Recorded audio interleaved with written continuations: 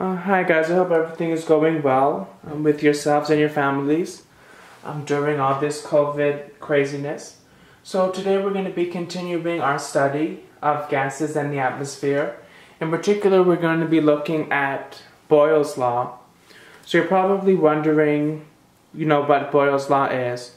So pretty much what it boils down to is that um, the pressure of a gas is inversely proportional to the volume of a gas and in case you're wondering what inversely proportional means, um, inversely proportional means that as one goes up, the other goes down, and vice versa. So for example, if the pressure of a gas is increasing, then the volume of the gas must be decreasing. They're pretty much opposites. So I like to think about it um, in terms of a diagram. So let's look at um, these two canisters of gas. So in both of these canisters, um, they both have the same number of uh, molecules of gas, so they both have five molecules of gas. But in the right hand side, we can see that there are uh, that the volume has been reduced by half pretty much.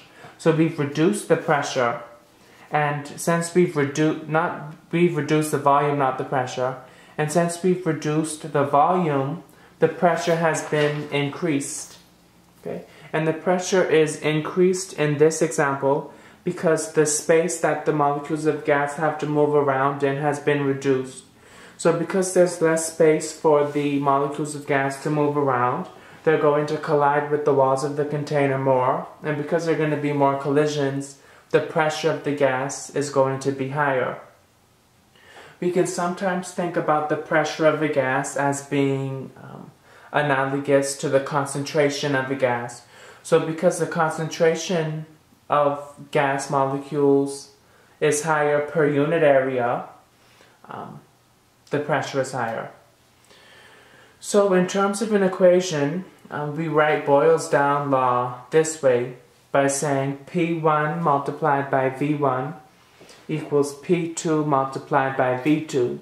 So what this means is that if we take our initial pressure and multiply it by our initial volume, it will equal our final pressure multiplied by the final volume. So we're going to just quickly take a look through um, a calculation so that we're um, starting to be comfortable with how to do these sorts of calculations. So let's first take a look at this. So it says a gas has an initial volume of 4.0 liters and an initial pressure of 1.0 atmosphere. If the volume is changed to 5.0 liters, what is the pressure? So the first thing you need to do is identify your four variables. P1, V1, and P2, V2. So that's the first step. Okay, so you write down P1, V1, P2, V2, and then you fill in the numbers.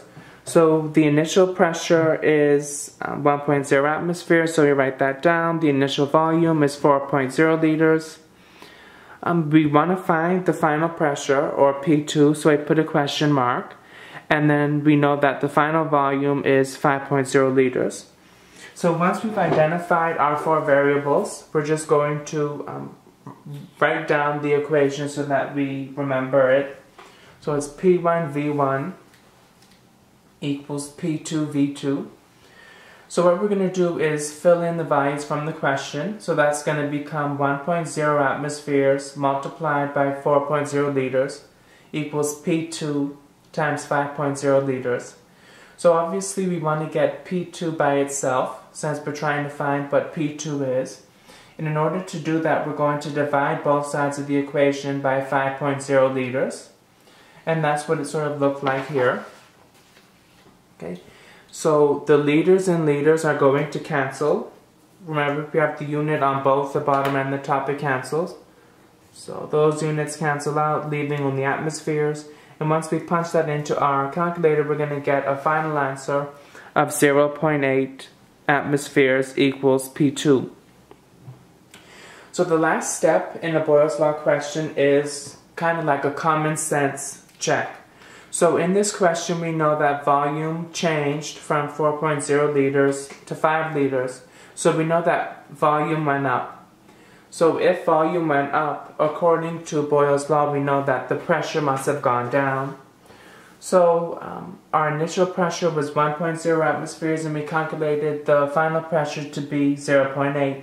And that makes sense because it's less than the initial pressure of 1.0. So it makes sense. One last thing to note, you need to ensure that the units all agree slash they're all the same. So for example, both of the um, volumes in this question were given in liters. It's really important to make sure that the units of volume agree and the units of pressure agree. So you need to make sure both are in liters and one isn't in liters and the other's in um, centimeters cubed. And you need to make sure if the question had um, given you both of the pressures, that both were in atmospheres, for example, and not one was in atmospheres and one was in um, kilopascals. Okay, so let's do another um, example really quickly. Before we do that, I'm just going to run through the notes so that you can fill out your booklet. Okay. So again, um, Boyle's law was discovered by um, an Irish chemist called Robert Boyle. And again, the big takeaway message is that um, pressure is inversely proportional to volume. So pressure inversely proportional to volume. That's the big takeaway. Okay? And again, in terms of math, um, we know that the equation is P1V1 equals P2V2. Okay? And um, with respect to this part here, um, it's not really important for us to um, be aware of that. That's just going a little bit more into detail about um, how to calculate constants for um, mathematical relationships. We're not going to really focus on that too much. So if we were to plot pressure against volume, it's going to give us a downward sloping curve like this. And that's because um, as pressure is increasing along the y-axis, we can see that um, volume is um, doing the opposite. So if pressure and volume are directly proportional, i.e. both going up or both going down, it would have a shape sort of like this. Okay, But again, it has this downward sloping curve shape because of that inversely proportional relationship. Okay, and again, that's just the equation there. P1V1 equals P2V2. So let's take a look at um, the sample problem on page 26. So it says a helium gas in a balloon is compressed from 4 liters to 2.5 liters at constant pressure. The gas pressure at 4.0 liters is 210 kilopascals. Determine the pressure at 2.5 liters. So again, the first thing to do is um, write down your four variables and fill in their values from the question, which has already been done here. Okay, then we rewrite the equation so we remember P1V1 equals P2 V2. So P1 is 210.0 kilopascals, V1 is 4.00 liters, equals um, P2, which we're still trying to find, multiplied by 2.5 liters. Okay, so to get P2 on its own, we're going to divide both sides by 2.5 liters.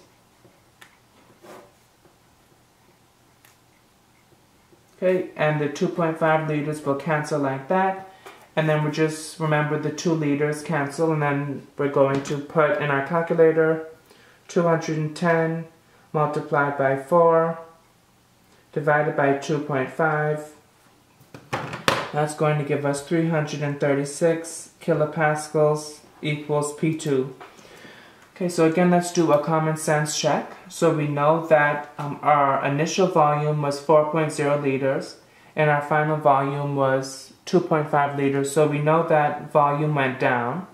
And because volume went down, we know that Boyle's law tells us that pressure will go up. Okay, and it did. Because our initial pressure was 210 kilopascals and our final pressure is 336. So it makes sense. Okay, and before I do another example, I'm just going to quickly um, open up the blinds so that there's more light in here.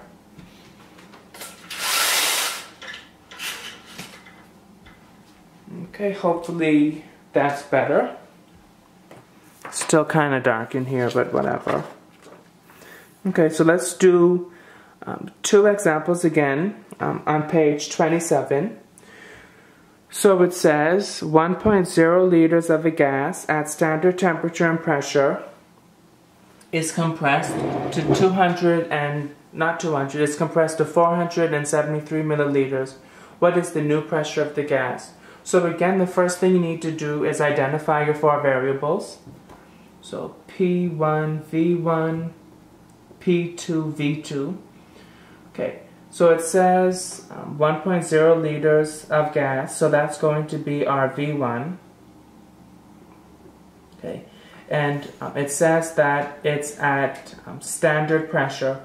So remember, um, this question didn't actually give us what the initial pressure is, but it's telling us that the gas is at the standard pressure, which hopefully we remember um, is 1.0 atmospheres. And it's saying that it's compressed to, four, to 473 milliliters, so that's going to be V2. But remember, our units all have to match. So because we were given our V1 in liters, we want to convert V2 to liters as well. So that'll become 0.473 liters. And we'll put a question mark next to P2 because that's what we're trying to find. So we'll rewrite it, P1 V1 equals P2 V2. So that'll be 1.0 atmospheres uh, multiplied by 1.00 liters equals P2 multiplied by 0.473 liters. Again, we want to get P2 by itself, and in order to do that, we need to divide both sides by 0.473 liters.